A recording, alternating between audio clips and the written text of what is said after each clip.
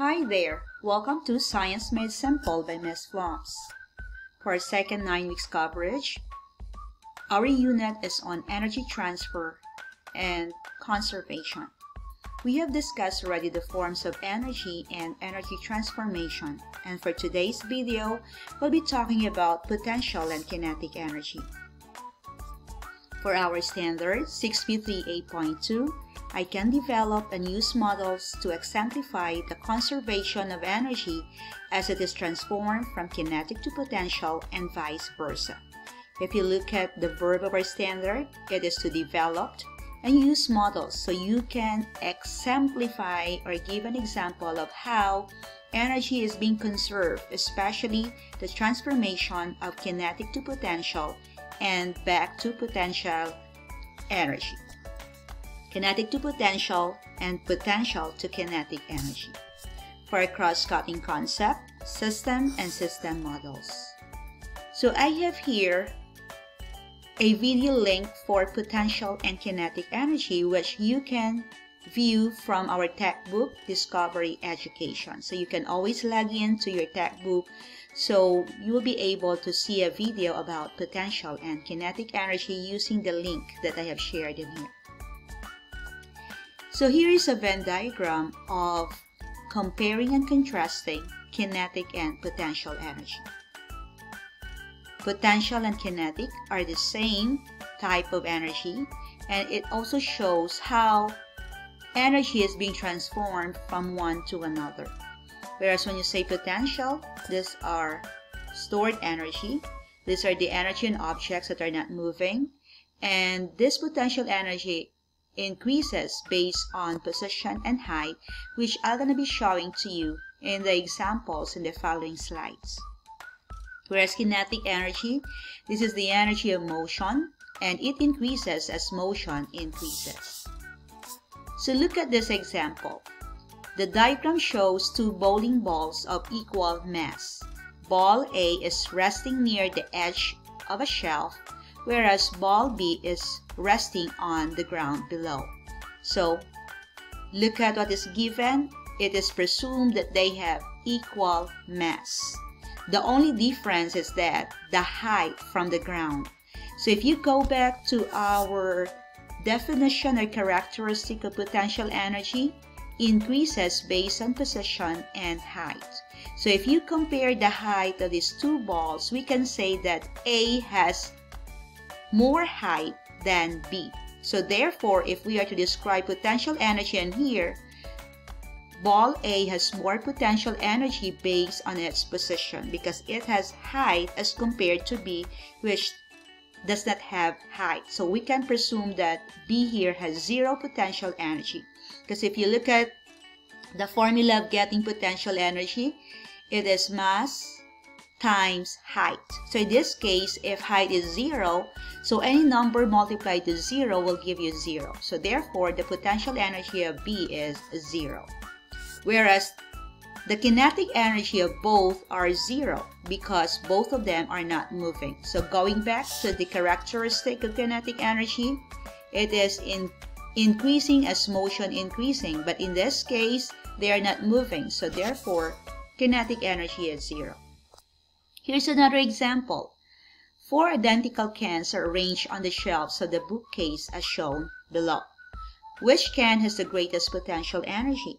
So if this is now your bookcase, so this is the ground wherein if you have this as zero height, so as you go up, for example, this will be 10 inches, 3 is 15 inches, 2, can 2 is 20 inches height, and can 1 is 25 inches height.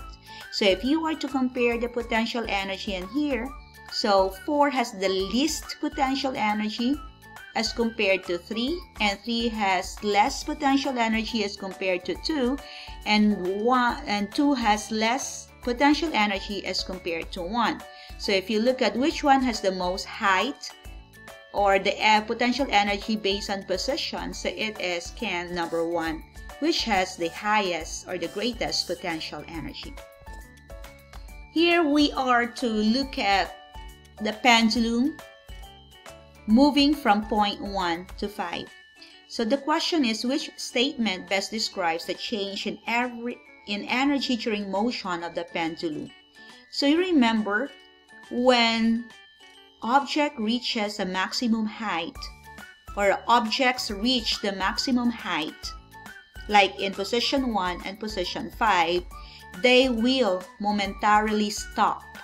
So once they stop they don't move. So we can say that kinetic energy in 1 and 5 is 0 while the potential energy is maximum because at position 1 and 5 they are now at its maximum height. But as the object moves down to 2, potential energy now is being converted to kinetic. So therefore, potential energy now is, is decreasing as it moves to position number 2 wherein kinetic energy is starting to increase. But as this position now, as this pendulum moves to another position on 3, height is 0, therefore potential is 0 whereas kinetic energy is maximum. So as this pendulum moves to the right in this position, kinetic energy now gradually decreases whereas potential energy is increasing.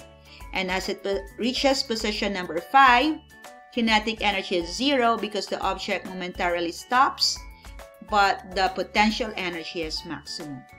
So let us choose the best answer in here. Which statement best describes the change in, er in energy during motion of the pendulum? So let's see. The kinetic energy at point 3 increases as it moves to point 4, which I think is not correct because kinetic energy at point 3 is maximum but as it moves to point 4 it gradually decreases. So increases is not correct. So A is not the correct answer. B. The potential energy at point 2 increases as it moves to point 4.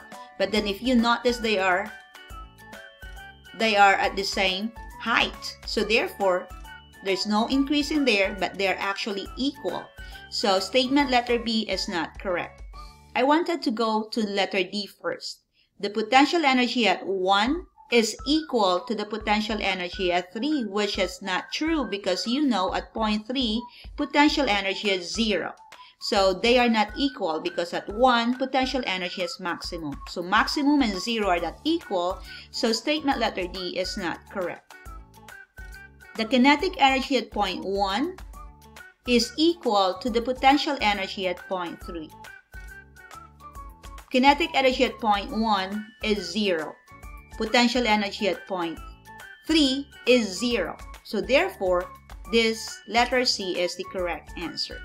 Kinetic energy at 1 is 0 because it momentarily stops, whereas potential energy at point 3 is 0 because it has no height. So therefore, this statement letter C is correct.